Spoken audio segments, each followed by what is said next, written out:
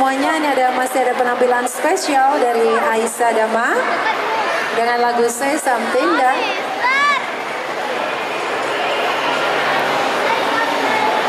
The Girl in